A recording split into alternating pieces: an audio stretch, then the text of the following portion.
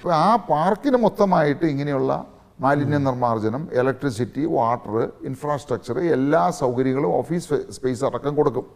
അപ്പോൾ അവരെ സംബന്ധിച്ച് വലിയ ഭീമമായിട്ടുള്ള തുക സൗകര്യങ്ങളെല്ലാം നമ്മൾ ഒരുക്കും. എല്ലാ സംഗതികളും ഇൻക്ലൂഡിങ് ഓഫീസ് സ്പേസ്. അപ്പോൾ അവരെ സംബന്ധിച്ച് കാര്യമായിട്ടുള്ള ഇൻവെസ്റ്റ്മെന്റ് ഒരു എൺപത് ശതമാനം കുറയ്ക്കാം. അവന് ആ വാടക മാത്രമേ വരുന്നുള്ളൂ. മറ്റുള്ള ഈ ഫോർമാലിറ്റീസ് മുഴുവൻ നമുക്ക് ഓവർകം ചെയ്യാം. ഇതെല്ലാം കൂടെ ഒരു ഈ പ്രോജക്റ്റുകളിലെല്ലാം കൂടെ ഒരു മുപ്പതിനായിരത്തോളം പേർക്ക് ഏകദേശം തൊഴിൽ കിട്ടുമെന്ന് അല്ലെ അത് ഏറ്റവും കുറഞ്ഞത് മുപ്പത്തയ്യായിരം ആളുകൾക്ക് ഡയറക്റ്റ് എംപ്ലോയ്മെന്റ് ഞാൻ പറയുന്നത്. ഏറ്റവും കുറഞ്ഞത്.